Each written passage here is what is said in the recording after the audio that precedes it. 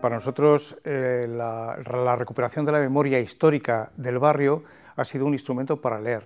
De hecho, hemos lanzado una, una colección que lleva ya muchos años a partir de unas jornadas que montábamos sobre recuperación de la memoria histórica del barrio, que era la, tradición un poco oral, eh, la comunicación, etc. Entonces eso hemos sido capaces de transformarlo en, pequeños folletos, en pequeñas monografías, en donde han participado pues, estudiantes del barrio, eh, estudiantes universitarios, profesores, eh, gente que haga trabajado sobre aspectos concretos de, de, la memoria, pues yo qué sé, desde la República en Vallecas hasta la educación en Vallecas, hasta un párroco que tenía cierto prestigio en Vallecas, hasta el primer alcalde democrático del barrio, etc., todo eso se ha ido convirtiendo primero en unas jornadas eh, de reflexión interesantes y después en libros que se han vendido por miles o se han repartido por miles en una primera instancia, ¿no? lo cual se supone que la, que la gente los utiliza, los lee.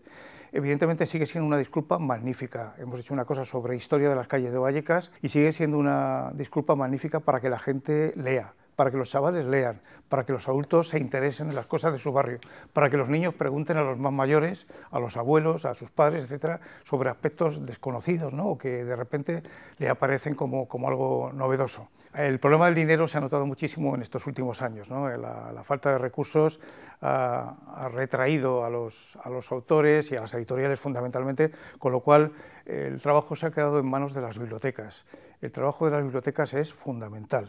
Eh, un bibliotecario que se lo toma en serio, eh, que no abre y cierra una determinada hora, sino que se implica, que promociona la lectura, que fomenta ese contacto entre la gente, los libros, que, hace reseñas de los libros, que, los, que convoca a los colegios, a los mayores, etcétera, eh, tiene una importancia enorme. Yo creo que tenemos unas bibliotecas y bibliotecarios muy buenos aquí en el barrio y por lo que he visto en algunas otras zonas de, Madrid. He estado hace poquito en Villaverde, en una biblioteca de, de allí de Villaverde y funcionaba de miedo, realmente es una relación perfecta, ¿no? es la que nos gustaría sacar a la calle. Es decir, hay que intentar que las bibliotecas, que los colegios que, trabajan el tema de la lectura no se encierren en el centro, sino que, proyecten esas iniciativas, esas propuestas hacia afuera e intenten captar nuevos públicos. De hecho, nosotros en Vallecas Calle del Libro, todos los años lo que intentamos es que las acciones, que son en torno a las 300 acciones que se suelen hacer en 15 días, en el mes de abril, salgan a la calle que los institutos y los colegios, si tienen, montan una exposición en torno a un poeta o en torno a un escritor,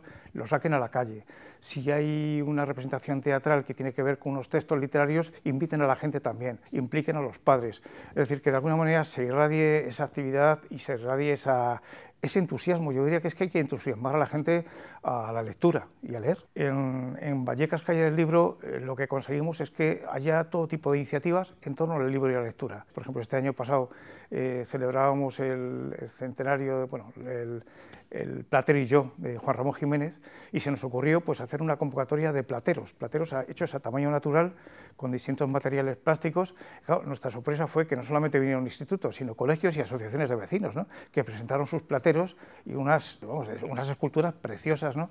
con muchísima iniciativa, con muchísimo eh, trabajo colectivo, desde el profesor hasta los alumnos, hasta las asociaciones, etcétera, pero que eso fomentaba la lectura de trozos de Platero y yo o de reconocer la biografía del autor, o de reconocer las obras que tiene, o de, bueno, y eso eh, se va extendiendo, las lecturas en la calle. Nosotros hacemos lecturas en la calle, de poesía y lectura de textos de, libros, ¿no? y lo vamos haciendo en, plan flautista de Abelín, con algún elemento musical que va recorriendo plazas y que va eh, leyendo y acercando el libro, y regalamos el libro.